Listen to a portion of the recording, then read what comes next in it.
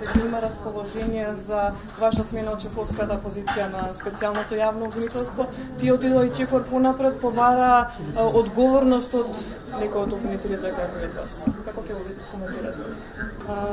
Мислам дека тоа е само политичка изјава која не држи да ниту вода, ниту место, ниту има основа, ниту пак може да се коментира во насока да се правдам или да напаѓам некој за тоа што некој така решил да изјавува.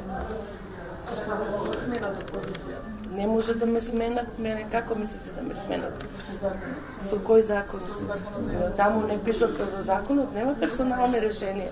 Не се пишува дека ќе се смени лицето тој тоа. Се знае што се пишува во закон. Мислам, ако сме писмени толку во Македонија, за да сватиме дека тоа не се пишува во закон. Мојот мандат истекува во септември по законот за специјално за јавно обвинителство. Сако се донесе нов закон, мене не ми истекува мандатот на 15. Ако го донесат законот сега. А тоа дека ќе одам на реизбор, дека ќе одам моето место на реизбор, тоа е нормална работа што е демократско право на во секоја држава како што се рекол и претходно дека конкурирам повторно да бидам специјален ја на прилика. Со обвинителки сегодня сме сведоци да се изложуваат учишта за Вчера беше неколку сведоци били спрашани Сега што е проблемот? Дали се чека новиот закон и зошто се одолговлекува во поставка?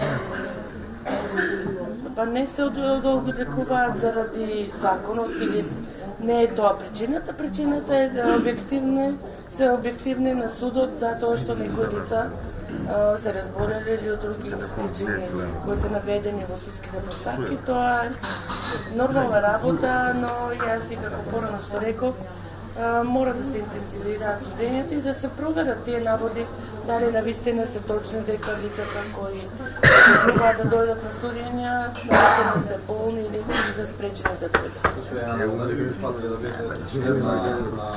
Да член на специјалното обвинителство, доколку се припада барањата на ВМРО да да се суспендираат сите постапки почнати после 18 месеци. Како член?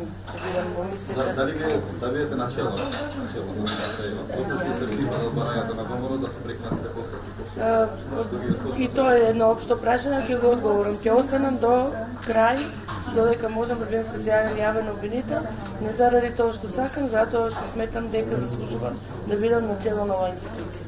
Сметате дека требаше лидерска среда, на вашите формирање, треба и лидерска среда за да се А, лидерска средба не, не можам да коментирам во тој дел, бидејќи не сум во текст за тие политички настани. Како ви го завршите вашето мандат или разрешени случаи имаше отворено десетици институции, многу малку обвинител, специјалното јавно обвинителство, како и редовното јавно обвинителство, да не почнемо таму како беше формирано и сето тоа, е само орган кој го за разрешница на предмет одговорност треба да се бара во судовите. Значи, Нашите предмети сите се предадени кои се осудени на 1 јули 2017 година. Од тогаш помина еве веќе две години. Да не кажам дека имаме и обвинителни предлози од 2016 од 15 септември кои се уште немаат првостепени одлуки. Вината за тие работи треба да ги барате во судовите.